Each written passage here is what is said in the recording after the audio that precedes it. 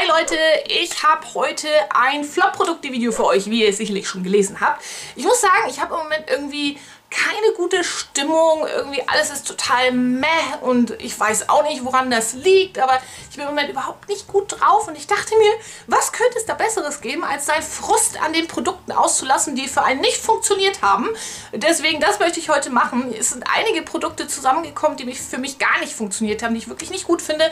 Wenn ihr aber irgendwelche Empfehlungen habt, wie die Produkte für mich besser funktionieren könnten, vielleicht mache ich irgendwas falsch oder sonst was, schreibt eure Erfahrungen immer in die Kommentare, darüber freue ich mich ich immer sehr. Deswegen legen wir jetzt mal los. Das erste Produkt ist etwas, was äh, sehr gehypt worden ist. Es ist schon eine ganze Weile her. Ich bin nie auf diesen Zug äh, aufgesprungen.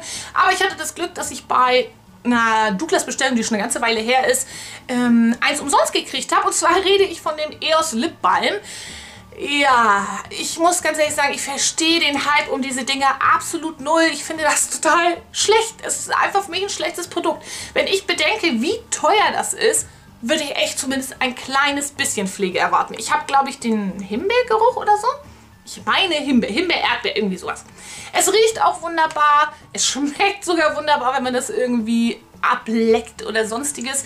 Allerdings muss ich ganz ehrlich sagen, es hat wirklich null Pflege. Null. Ich habe das Gefühl, wenn ich das auf meine Lippen auftrage, dass ich da äh, schmieren muss bis zum geht nicht mehr und es kommt einfach kein Produkt auf meine Lippen. Nur so wenig und das bisschen was auf meine Lippen kommt. Ich habe eher das Gegenteil, das Gefühl, dass es austrocknet und nicht pflegt. Deswegen, also für mich ein absolutes Flop-Produkt. Sagt mir mal, wie ihr die Dinger findet. Vielleicht habe ich ja auch irgendwie nur ein schlechtes abgekriegt und äh, die sind eigentlich total klasse. Ich weiß es nicht. Aber ich fand das wirklich richtig schlecht. Man kriegt schon für viel, viel, viel, viel weniger Geld viel bessere Lip Balms. Das Ding war einfach grauenvoll. Dann das nächste Produkt, da war ich echt richtig traurig, dass es für mich nicht funktioniert hat. Ich mochte auf jeden Fall den Vorgänger davon sehr, sehr gerne. Leider musste ich den wegschmeißen, weil er mir umgekippt ist. Aber auf jeden Fall rede ich über den Illuminating Primer von Rival de Loop. Hier steht noch drauf mattiert, kaschiert Fältchen und Poren ölfrei. Ich hatte da den Vorgänger, also der hieß auch Primer, war aber wie so ein richtig wunderschöner flüssiger Highlighter. Man konnte ihn einzeln auf den Wangenknochen auftragen oder eben unter der Foundation mit der Foundation Mischen. Es gab verschiedene Möglichkeiten, wie man das machen konnte. Und der hatte nur wirklich schön Schimmer, war wunderbar. Der hier hingegen hat Glitzerpartikel. Da steht drauf, er mattiert. Steht zwar drauf auch Illuminating Primer, wo ich mich mal so ein bisschen frage, wie soll denn beides gehen? Wie soll das denn illuminierend sein und auch mattierend? Aber gut. Wenn es illuminierend ist, das ist ja das, was ich wollte, dann sollten da aber Schimmerpartikel drin sein. Einen schönen Glow, aber doch kein Glitzer. Da ist wirklich mega auffälliger Glitzer drin und ich frage mich ganz ernsthaft, bitte, liebe Firmen, die in eure Primer, die ihr in eure Primer Glitzer packt, Sagt mir, warum ihr das tut. Im Ernst. Ich habe noch keinen, wirklich keinen gehört, der gesagt hat, wow, den Primer finde ich total klasse, weil da richtig große Glitzerpartikel drin sind und ich ausschaue, wie als wenn ich äh, Konfetti-Glitzer auf dem Gesicht habe. Kenne ich keinen, wirklich. Überhaupt keinen, der das irgendwie schön findet. Deswegen lasst doch die Glitzerprodukte da raus, also die Glitzerpartikel. Ich glaube, das würde äh, sehr, sehr viel helfen. Deswegen für mich war das leider ein Flop und sehr, sehr enttäuschend, weil ich den Vorgänger davon wirklich sehr mochte.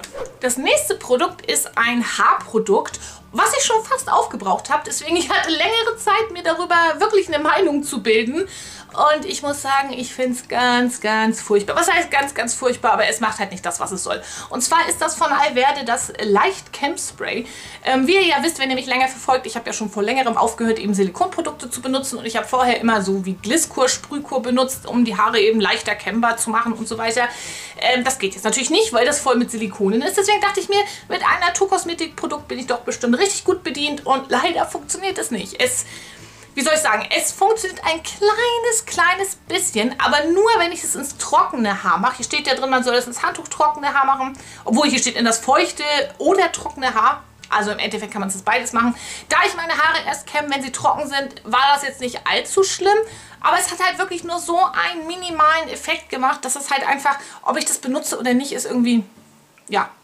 Oder ob in China ein Sack Reis umfällt. Also wirklich, das ist völlig, völlig minimal die Wirkung von diesem Spray, sage ich jetzt mal. Aber das Allerschlimmste, warum ich das wirklich so schrecklich finde, ist, dass, wenn ihr das benutzt, meinetwegen im Badezimmer oder sonst wo, klebt der ganze Boden. Ich weiß nicht, was das ist. Im Haar fühlt sich das überhaupt nicht klebrig an. Aber das erste Mal, wo ich das benutzt habe, habe ich es ganz schön reingesprüht und war total, ach, das wird bestimmt ganz super sein, auch wenn da keine Silikone drin sind. Bis ich dann aus dem Raum gehen wollte und festgestellt habe, äh, dass es Geräusche macht, weil ich mit meinen Puschen an den Boden festgeklebt bin.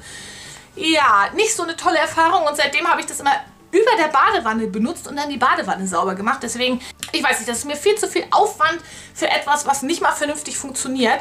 Worüber ich sehr traurig bin, wenn ihr da irgendeine Empfehlung habt für ein gutes Leicht-Camp-Spray, was eben keine Silikone oder Filmbildner enthält, dann bitte schreibt mir das in die Kommentare. Ich brauche unbedingt eins und das war echt nicht meins und das werde ich auf jeden Fall auch nicht nachkaufen. Dann kommen wir jetzt mal zu einer Mascara und zwar ist es eine High-End-Mascara. Auch so ein Produkt, wo ich Glück hatte, sie umsonst zu bekommen, denn ich habe äh, ein so ein, ihr kennt das, wenn ihr bei Douglas bestellt online, habt ihr manchmal so Rabattcodes. Ihr müsst unbedingt immer bei fraushopping.de vorbeischauen, bevor ihr da shoppen geht bei Douglas.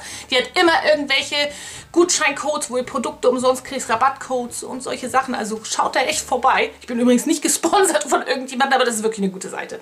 Und zwar habe ich diese Mascara hier umsonst gekriegt. Ähm, natürlich nur so eine kleine Reisegröße, aber es ist von Lancome. Lancome, die Hypnose Doll Eyes Mascara.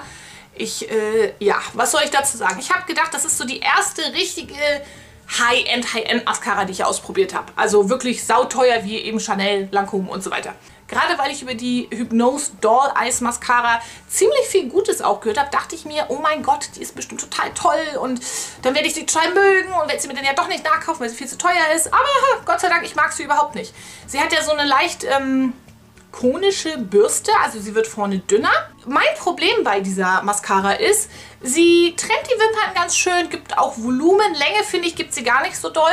Aber was ich das Schlimmste finde, sie gibt einfach absolut null Schwung. Ich foltere meine Wimpern mit der Wimpernzange und benutze dann diese Mascara und es ist so, als hätte ich die Wimpernzange überhaupt nicht benutzt. Weil sobald ich die benutze, gehen meine Wimpern runter und das war's. Dann, was ich noch am allerschlimmsten finde, sie smatscht bei mir wirklich unglaublich schlimm. Ich habe die heute zum Beispiel am unteren Wimpernkranz äh, benutzt, habe ich die heute benutzt, äh, weil das noch so der einzigste Weg ist, wie ich die überhaupt aufbrauchen kann. Und da muss ich selbst aufpassen, dass sie nicht smatscht. Also falls ihr da irgendwelche Smudger seht, liegt das an dieser Mascara. Und deswegen, wenn man bedenkt, wie teuer die ist, finde ich das schon, ja, was soll ich sagen. Ich benutze die, diese 3 Euro Essence Mascara im Moment, die Waterproof-Variante der I Love Extreme. Und die finde ich so, so klasse. Und wenn ich bedenke, die kostet 3 Euro und die, ich weiß nicht, 30 oder sowas. Nee, also niemals ist sie das Geld wert. Niemals. Dann habe ich noch eine Mascara für euch. Und zwar ähm, hatte ich das Glück, die von Rossmann zugeschickt zu bekommen. Beziehungsweise ich habe ein paar neue Produkte zugeschickt bekommen von Rossmann zum Testen von dem neuen Sortiment von Rival de Loop Young.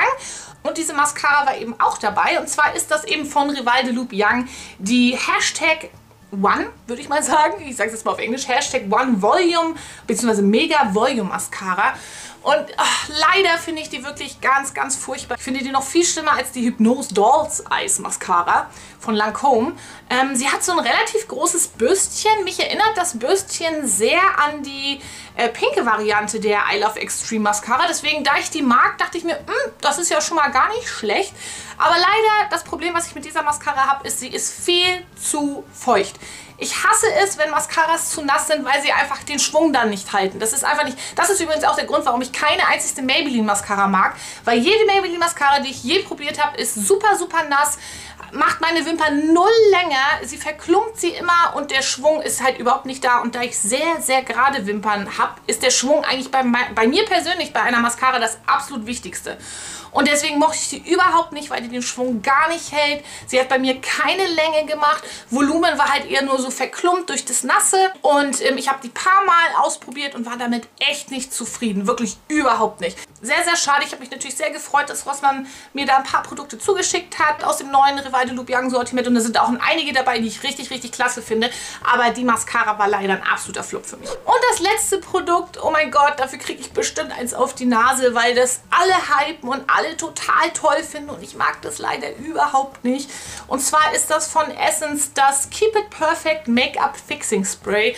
Das wird ja von so vielen gehypt und ich habe wirklich versucht, es zu lieben. Ihr seht ja, ich habe auch schon einiges aufgebraucht, aber ich finde es leider nicht gut. Ich, ich, tut mir leid, also ich erzähle euch mal, warum ich es nicht gut finde, logischerweise. Und zwar, ich habe das Gefühl, wenn ich mich damit im Gesicht einsprühe, auch wenn ich nur sehr wenig benutze, als wenn ich Haarspray auf mein Gesicht gesprüht habe. Ich merke dieses Spray und das finde ich mega, mega unangenehm. Und nicht nur, dass ich es merke, es macht bei mir leider auch nichts. Natürlich nimmt es ein bisschen dieses pudrige Finish weg, aber dafür finde ich viel, viel besser das Spray von Alverde oder noch viel besser das äh, MAC Fix Plus. Also beides mag ich super, super gerne. Von daher, dafür würde ich das auf jeden Fall nicht kaufen, sondern eher, wenn es jetzt das Make-up länger haltbar machen würde, würde ich vielleicht noch drüber hinweg sehen, dass ich dieses komische Gefühl auf der Haut habe, aber leider macht es das bei mir nicht. Mein Make-up hält genauso lang ohne, ohne dieses Fixing Spray wie mit. Ich habe das sogar ausprobiert, dass ich die Hälfte eingesprüht habe und die andere Hälfte nicht. Ich habe das halt hier abgedeckt und es hat auf beiden Seiten absolut gleich lang gehalten. Deswegen, bei mir hat das wirklich keinerlei Unterschied gemacht. Sagt mir mal, ob ihr das mögt. Würde mich ja sehr interessieren, weil bisher habe ich nur Positives über dieses Setting Spray gehört, aber ich finde es wirklich leider überhaupt nicht gut und ich werde das, denke ich, auch einer Freundin verschenken. So, das waren jetzt alle Produkte, die in letzter Zeit für mich leider überhaupt nicht funktioniert haben. Wie gesagt, wie ich schon am Anfang gesagt habe, wenn die für euch gut funktionieren, bitte gebt mir vielleicht irgendwelche Tipps, wie ich sie für mich mehr ähm, praktikabel machen kann, dass sie für mich wirklich funktionieren, dass ich sie aufbrauchen kann, logischerweise. Und ja, ich hoffe, das Video hat euch gefallen, irgendwie weitergeholfen, auch wenn ich bestimmt in dem Video ein bisschen komisch bin, weil ich im Moment in so einer Meh-Laune bin. Aber auch das gehört zum Leben und ja, ich wünsche euch einen wunder wunderschönen Tag und bis nächstes Mal. Bye! Ich glaube, ich habe die Kamera gerade angespuckt. Sorry, Kamera. Und sorry euch, äh, falls ihr das irgendwie... das war jetzt sehr seltsam. Eine sehr gründliche Meinung drüber... Oh Mann, das gibt's doch nicht. Was darf doch niemand? Ich bin zu blöd zum Reden. Und ich dachte mir, gerade weil ich über die Hypno... Gerade weil ich über die... Das ist unglaublich, ich kann den Namen. Gerade weil ich über die Hypnose Doll Eyes Drama ähm und diese Mascara war hier auch dabei und zwar ist das eben von Rival de Blanc und ähm, diese Mascara